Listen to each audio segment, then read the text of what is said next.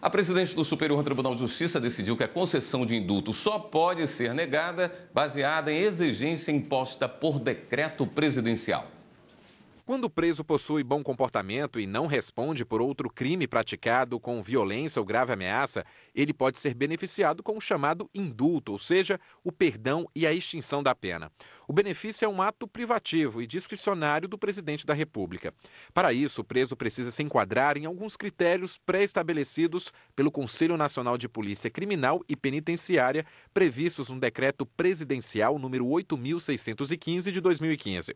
Por exemplo, a condenação não pode ser maior que 12 anos e é preciso ter cumprido um quarto da pena.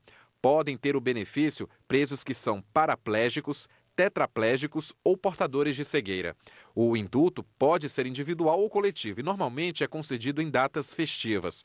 Conforme o decreto, os presídios devem encaminhar às varas de execuções penais a lista dos presos que preenchem os requisitos. Além disso, segundo este advogado, o indulto também pode ser requerido à justiça pela defesa do preso e para a concessão não tem exigência de exame criminológico. O exame criminológico era, é um exame que vai se oferir a fundo a personalidade do condenado.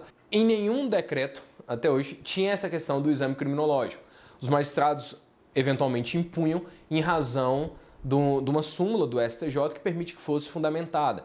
Mas o contexto da súmula não era referente ao indulto, mas sim à progressão de regime. Por conta disso, alguns habeas corpus foram encaminhados para o Superior Tribunal de Justiça. Em duas decisões temporárias, a presidente do STJ, ministra Laurita Vaz, determinou aos juízos de origem nova análise dos pedidos de indultos, sem a exigência de requisitos que não estão previstos no decreto, como o exame criminológico.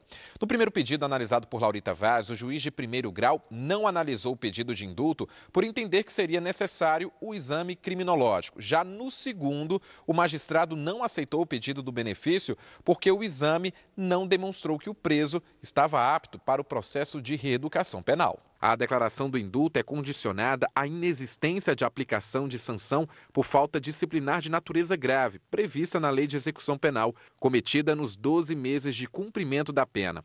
Segundo a ministra Laurita Vaz, a concessão do benefício condicionado ao cumprimento de uma exigência não estabelecida no decreto presidencial configura constrangimento ilegal, já que o magistrado não pode criar novas regras ou estabelecer requisitos além dos previstos na norma. O mérito dos habeas corpus ainda será analisado pela sexta turma.